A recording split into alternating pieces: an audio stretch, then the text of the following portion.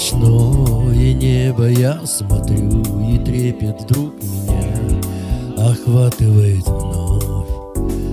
Звезды светят, словно связь, немногословно между мною, небом и землей. И как будто сверху в небе темно-сером кто-то наблюдает и за мной.